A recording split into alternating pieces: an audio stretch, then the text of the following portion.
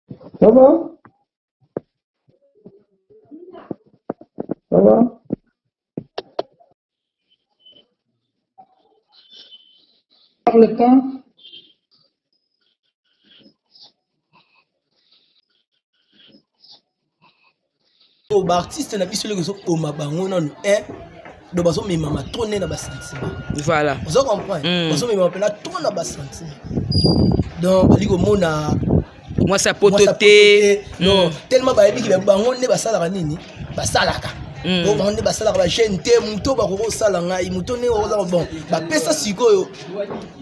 donc privilège mingi epai na bango baétranger hmm. ndio bande bato wana baza bato mabe voilà basa libanda basa poto non mama non na mawa hmm. parce qu'on ne sait jamais dans la vie motu nini oyo abulela oyo asala yo mabe ndeti makambo mabo vraiment ndeko piroger ni ni esali vraiment bien tuera suspendre ye lisusu bo pona nini te seke mm. vefa suspendre ye ah yo olo soutenir mutu na bino ozoboma ye lisusu eh, boye so tokomomema bango kaka oh, te mpona aza mutu na biso donc so moto abungi donc fo ozongisa ye mpe na mabe na ye ah. komake bakoki koutilize oke longoli elamba sala boye sala boye bapeti moko boye me yo mpo osali nini tema mosusu eki ozala bongo bien sûr mais mutu kaka yo moko nde ifo ozala prudent même si mwasi na yo bozala na ye ifo ozala ne kaka prudent parce que bokutani na ye na pays étrangère bokutani na ye directement ifo ozala ne kaka koyeba ndenge nini ya kozala na ye mm. ndenge nini ya kotambola na ye parce que ba libanda ba femme ebele bakoma na ba jeu ebele mpo alia mbongo mm. donc il faut ozalaka vraiment prudent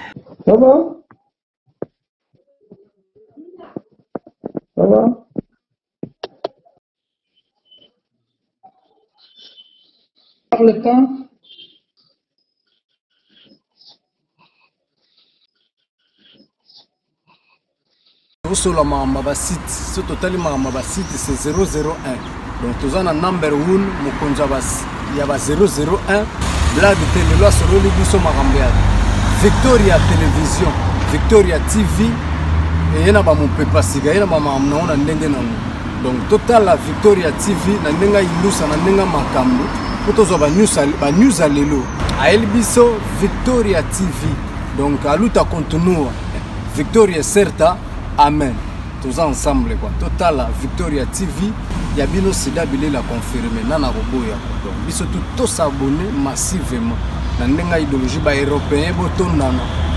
mpo bolanda bafere ya mboka ya parci par là donc number one na bango toza ensemble sida bilele na ndenge ya indusa victoria iserta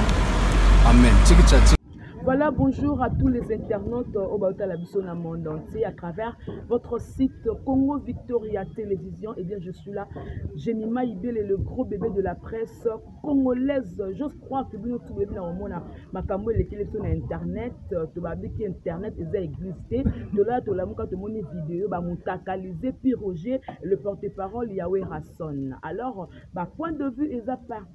tout banani yango basala makambo wana alors je veux d'abord vous laisser le temps bokotala video yango bino moko bokojuge mais à part ça mm, eza na voice moko boye na motu moko aza na poto aza fan ya, ya musique congolaise aye mpe baje oyo esalamaka wana alors atindi mpe mwa ndambo ndenge nini banani nde basalaka yango alors il paraît que euh, naza vraiment na confirmation te il paraît que bato basalaka biloko wana baza ba béninoise en compagnie na ba music ba comment ba mindele nde basalaka ba jeu wana ozwa image wana bien je veux d'abord remercier le boss de cette chaîne euh, JB Kumaluta le vrai pétrolier na kati ya Dallas wana balobi euh, le boss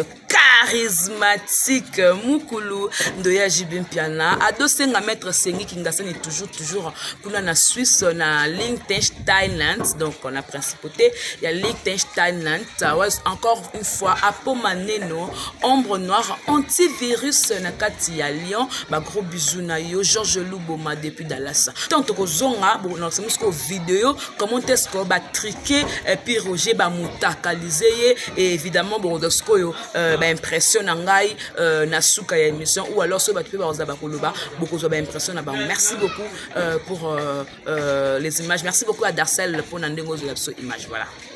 Ça va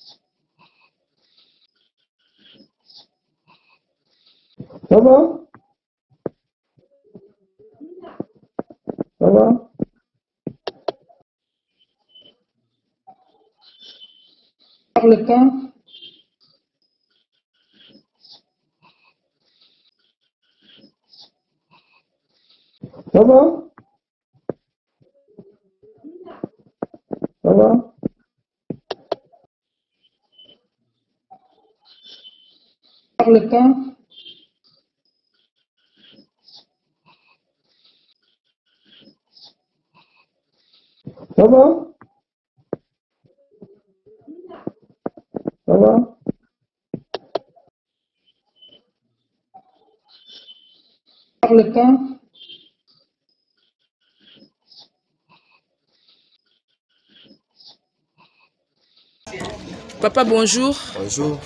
Voilà, euh, na sur euh, yo pe otala internet. Te na tala internet. Ah, otala internet hein. Omoni vidéo oyo ba mutakalize pi Roger. Donc vidéo wana tomoni yango namoni yango mais esali nga vraiment bien te mm. tanke porte parole ya monene oyo ayebani na kati ya rdc lola ndeko pi roger Euh, donc esali vraiment bien te baoyo bazosala mambo wana mpona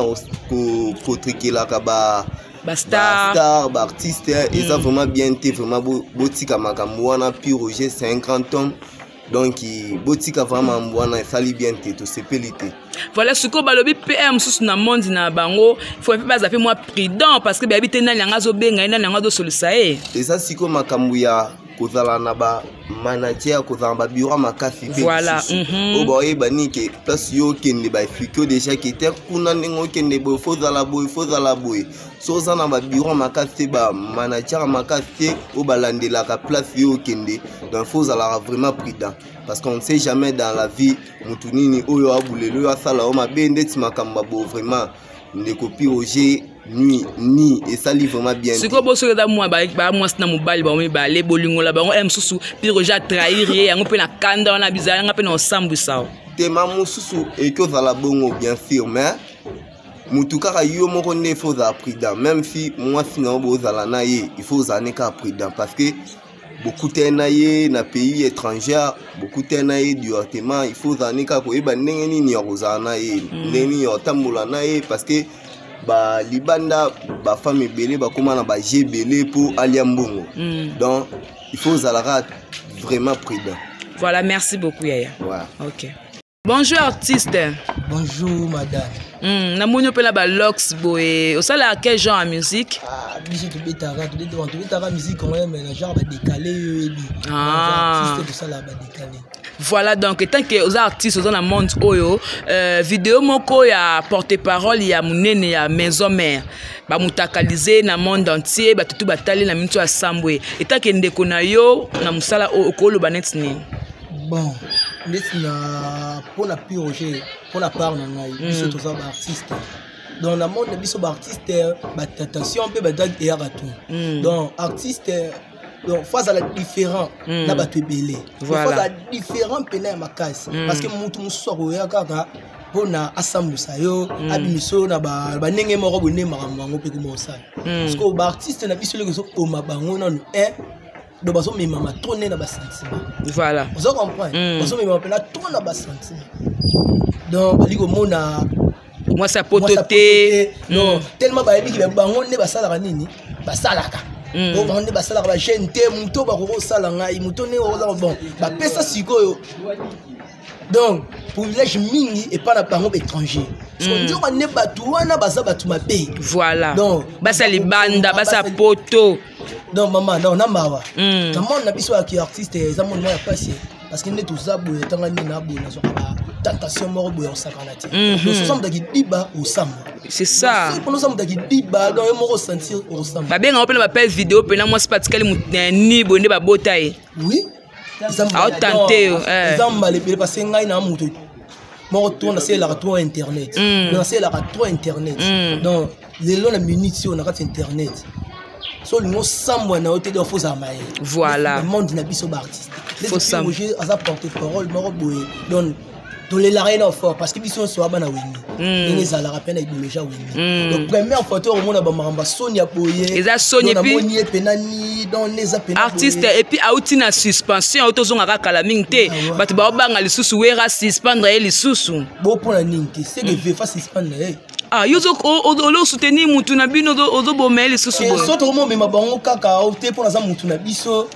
donc soki moto abungi donc fo ozongisa ye mpe na mabe na ye ah. komake bakoki koutilize yo ke longoli elamba sala boye sala boye bapeti moko boye me yo mpo osali nini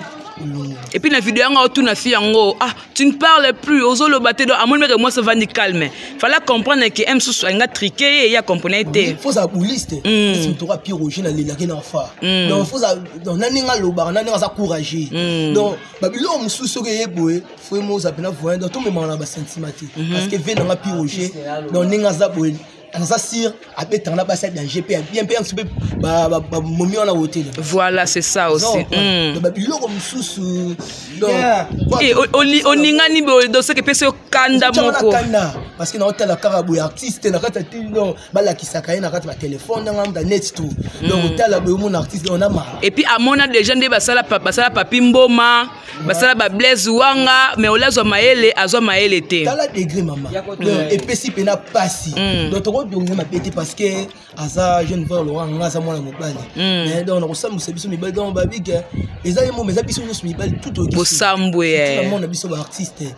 doso otali pena dona mawa babenga yango etolomo babi etolomo ya, ya pi roger sambwe ata degre tala hmm. degre bebisi hmm. mpena mpasi donc nakotala mpena boye eloko ezoboma biso su baartiste lokoso lokoso hmm. donc ezoboma mabe msu fi ana pa prometaki ye mbongo msu 300 dollar 1000 dollar abina mona yo aleyi mpe mitikali atiki nzoto donc koto wana mpena nde eza boye ezopesa mpasi parce que baartiste bakomi lokoso makasi suni obe niveau bapoto mm. donc tomomona otina émission bosomisa bango donc lokoso suni ti bamomi wana oyo bazoutaka babinoise banani bazoya wana babene bakopele na bamindele mpo basala baje wana toyiki na bambasona parce que monde na biso artiste eloko mm. ebombamaka te mm. so likambo esali me oyokaka kaka mwa fuite moko ebima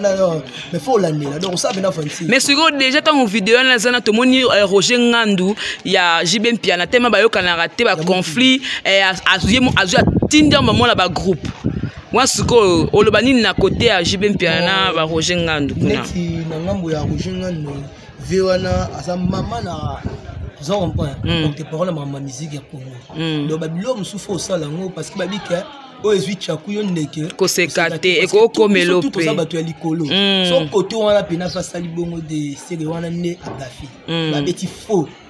mhm. oza comprendre na mona mm. biso baartiste abeti faux parce que c'est erreur oyo esalami eza erreur ko ayebi te ayebaki te lobi ekokoma na baniveau wana neti ye aza mpe frère lokola ye donc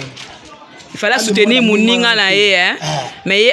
asoutenir ye te amemona baningi wana te mm. donc omemona baningi wana bongo nde epesi mwa faux mm. donc adose donc soki asala yango mpena adose naye voilà voilà osenga nini epa werason werason osenga nini eh, werason asala ndenge nini mpo na piroger est ce que alimbisa ye ou bien apinir ye bon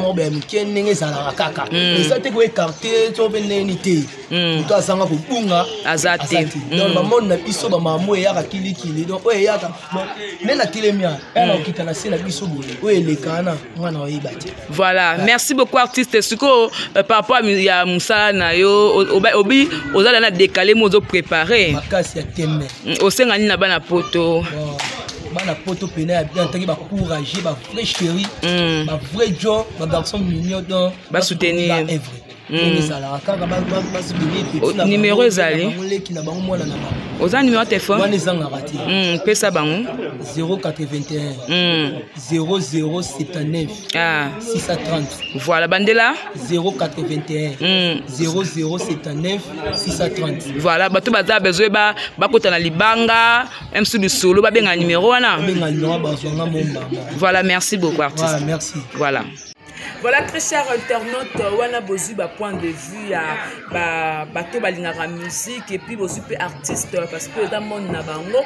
tolobaki trop vraiment te ke tokosalela yango makele vraiment makasi te parce que babi 18 ya kundeke koseka te mais makambo oyo tifo ozala sage ntango oza homme public oza star parce que pi roger kotravaille pembeni ya werason seki aotravaille epai ya artiste moko aza monene fali azala na balimite azala na baprincipe makambo oyo ekomelaki bapapi mboma ekomelaki bablaise wanga siko ntango mwasi moko azobengo na video alingi amona yo ndenge oza nini il faut s'attendre que non akosala nga mwa je mobe na poto baza na babiloko moko koenregistre babiloko oyo biso peut-être na kinshasa tozalaka nango te alors ka oyo ekomeli piroger moi je dirais seulement que non ezalaki tricage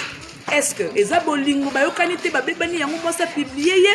est ce que mwasi abungisaki telefone ou bien piroge ye moko abungisi telefone moto azwi video a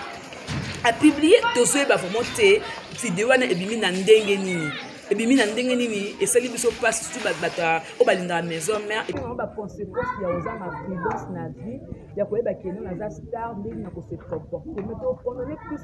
pire juste parce que aza na moment oyo ese maki kosoutenir ye et tant que toza bato ya média bajournaliste tokosoutenir ye kaka koyebisa ke non notre frère courage epesi okaa mayele prochainement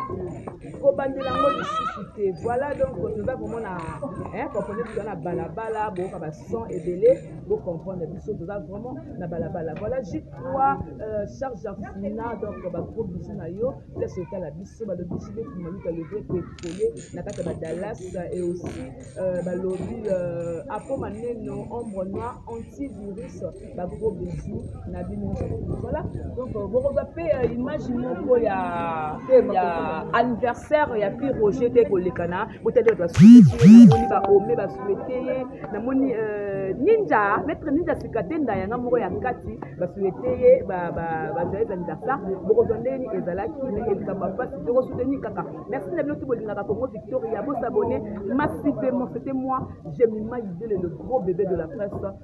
congolaise on se retrouve déjà prochainement pour la événement mosusu merci beaucoup tosola makambo ya basite so totali makambo ya basite se 001 donc toza na number 1 mokonzi ya ba 001 blade te lelo asololi biso makambo ya victoria television victoria tv eye na bamopepa sika ye na bamakambo nango na ndenge nango donc totala victoria tv na ndenge ayindusa na ndenge makambo mpo tozwa banews ya lelo ayeli biso victoria tv donc aluta continua victoria certa amen toza ensemble kua totala victoria tv ya bino sida bilela confirme na na koboya donc biso tu tosabone massivement na ndenge ya idéologie baeuropéen botondana mpo bolanda bafere ya mboka ya parci parla donc number one na bango